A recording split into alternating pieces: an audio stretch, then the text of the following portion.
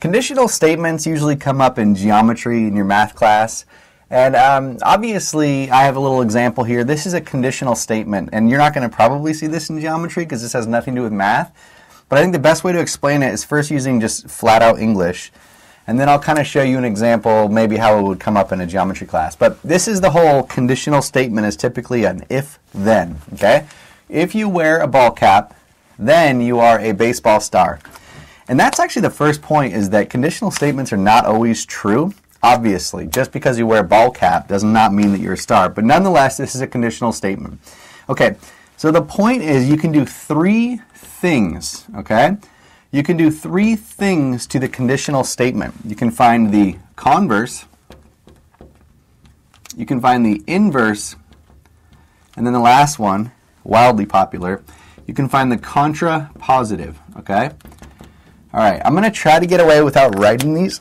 Let's see if I can pull it off. But basically, here you have two pieces, part one and part two. If you wear a ball cap, is part one, obviously, comma, then you wear a baseball star is part two. Now, it's hard to memorize. These are what you're going to do to this statement. It's kind of hard to memorize. The way I remember it is converse. If you wear converse shoes, then obviously you can do a flip because only outstanding athletes wear converse shoes. So the converse is the flip of this statement. So if I have, if you wear a ball cap, then you are a baseball player, taking the converse of that, you would just flat out flip them. You would write, if you are a baseball star, comma, then you wear a ball cap. So I'll try to like quickly, briefly write. I promised I wouldn't, but I'm going to give you some notes. So this would be, if you are a baseball star, star, comma, you wear a cap, right? So all you did was take the two statements and flip them, right? Converse, you wear Converse shoes, you can do a flip. The inverse is what's called you take the negation of the two statements, right? And so you don't flip them, you don't change the order, you just take the negation. And the negation is me just saying no. So, like, you know, if you have like a teenage kid, actually, you probably are a teenage kid, and you probably do negate everything your parents say. So your mom would be like, you know, you know, little Susie, today's a beautiful day. And you'd be like, today's not a beautiful day. Because teenagers basically negate everything their parents say and be like, you know, when I was your age, uh, I used to like school. No, you didn't.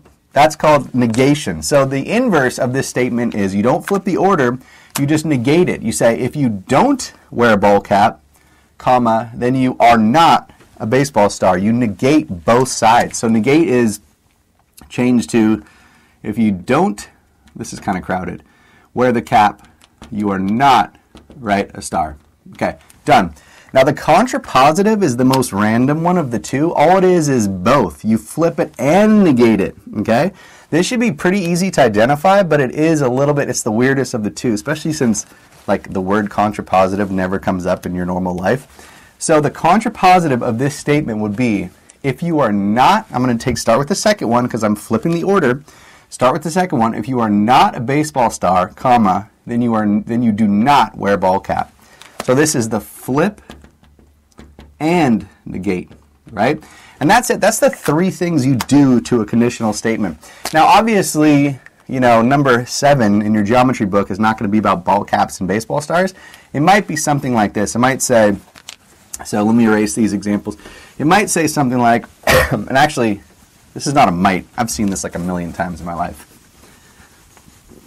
So you could have a question like this. It would say, if two angles are a linear pair, right? A linear pair, then they are supplementary. Okay. And by the way, that actually is true. They could say, is this conditional statement true? And you'd say, if two angles are a linear pair, right, which is basically a situation like this, then they are supplementary. So that's good. Now, if I took the converse, I can do three things to this statement. I could take the inverse, the converse, or the contrapositive.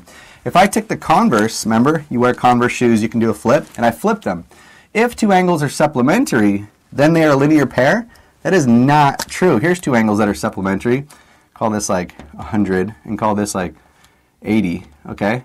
Those are definitely, that's pretty bad. Those are definitely supplementary, but they are not a linear pair. They're not even next to each other. So Usually these problems come up where the, where the book will say or the teacher will say or someone will say, Is the contrapositive true? Is the inverse true? Is the converse true? But the first step in being able to answer that is to know the three, and now I think you get a pretty good grasp. And so that's the three things you can do to an if then statement, to a conditional statement. Remember, if you're having a hard time at your local high school, you can take this online at Silicon Valley High School, try to pass it there, and have the credits transferred back to your high school.